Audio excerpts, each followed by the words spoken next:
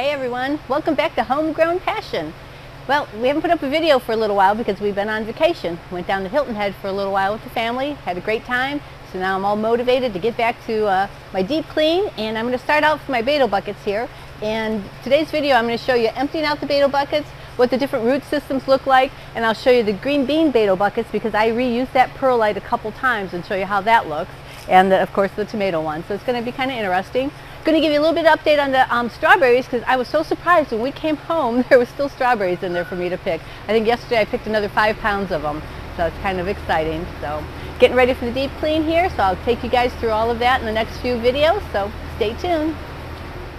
So as you guys can see, the whole greenhouse is empty. I've got everything pulled out of here, getting ready for our end of season deep clean, which should be a good exciting time. I want to get everything all sanitized and get ready to plan up for the winter time. That's my favorite time to grow. The other thing that we have coming up is we're going to be replacing the plastic. Because I know you guys saw in some of the previous videos when we did the light monitors and that, that my plastic isn't letting enough light through. So I do have the uh, plastic here in storage and Crop King is going to come out in a couple weeks and help me replace it. That should be an interesting time. Here's one of my betel bobbins from the tomato plants. You can tell it's kind of dirty there. But I do reuse these. What I do is I soak them in some bleach solution and if they need more twine on them, we rewind uh, them up. And these I've had since the beginning here. They're almost eight years old. So you can reuse a lot of stuff as long as you clean it out. So the first Bato buckets here that I'm going to take out are from the tomato plants. And these just have been used once, so I am going to take these out in my handy dandy wagon here that my friend Carol gave me to work in the greenhouse. It's got nice big tires on it and it's easy to pull through to get everything out to take to my tank and dump them out.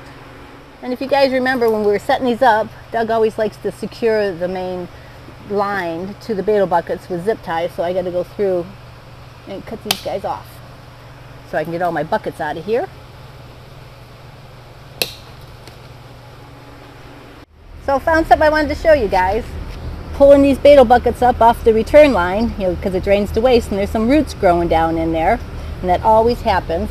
So you want to make sure you're able to take apart your return line, the drain line here. Doug put some rubber boots on it in a couple different places so I can just take it apart, run a brush through it or just a, a rag or whatever, and get all the roots out and get it all cleaned up.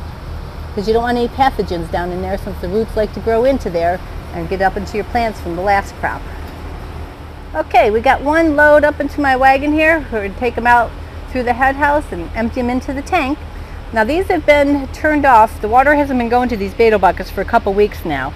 So they're nice and light and they should be pretty easy to empty out. So let's go do it.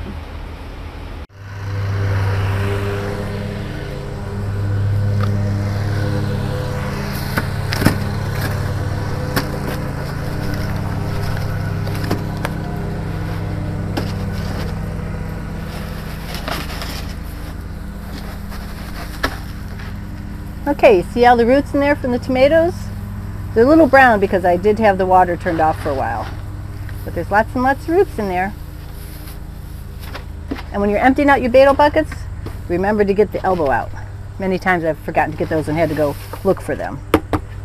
So now I need to wash them.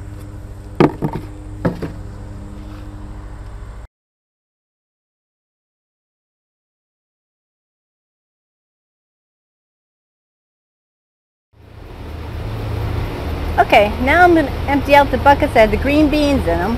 This uh, growing medium, the perlite and a little bit of vermiculite was used two times for this, so it should be interesting to see what it looks like.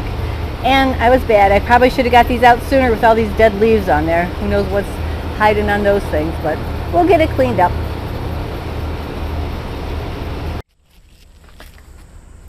Okay, here we have one from the green bean. Like I said, the growing medium was used a couple of times a little bit more difficult to get out of here. And there's nothing really to pull on. So let's see if we get this out. There we go. Oh yeah, look at that root mass. That's even more so than the tomatoes were. Wow. Now the dark stuff in here is the um, vermiculite. So I like to use the layers of vermiculite and perlite, but this has a deeper root mass since it was used twice. So the green beans, I don't mind doing it this way because they are a shorter term crop, so I'm not so worried about the roots. So probably two is probably the most you could do in here. I was hoping to maybe see if I could get three times out of the growing mixture, but it doesn't look that way. I think twice is the max. They kind of cool how the roots, they get kind of stuck up there on the side of the Bato bucket here. Let's get those out of here. Like I said, make sure you get your elbows out. Uh, here's another one. Let's see how easy this one is to get out, if it's any easier. There it goes, one big clunk. And the elbow stayed in that time. So, get that out and one big mass. So I thought I'd show you guys why once in a while I lose my elbows. Dump this guy out, and if I wasn't paying attention, the elbow's not in there, so where is it? It's hidden. You got to get it out of there. So, just double check each one. So, back in the high tunnel for the first time since we got back from our little vacay for a week. I can't believe I'm still having lots and lots of strawberries. There's some gooey ones in here since they haven't been harvested and the bugs got to them. But it looks really cool. Really getting into this strawberry thing. I think I'm gonna have to harvest these this evening, even though I'm dead tired from driving home.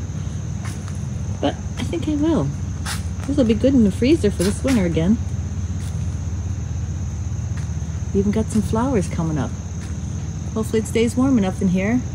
And I'd felt the tanks and the A and B and the um, pH tank adjust and it feels like I have enough juice in there, enough nutes to go for another few more weeks without replenishing. Ooh, there's a gross one. Yuck. But not too bad.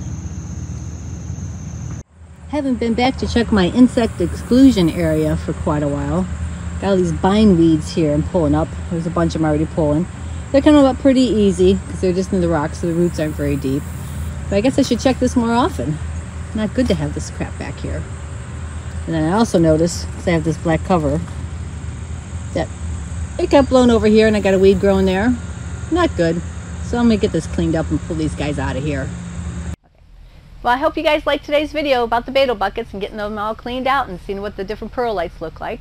One of the next videos coming up is I'm going to do a cleaning of our uh, wet wall here. As you remember, these pads are brand new for this year, so I want to get them all cleaned up and sanitized and ready to go into storage for the winter time because we won't be using them. So I hope you like uh, watching us, and remember, please leave me comments, questions, and suggestions down below, and we'll see you guys next video.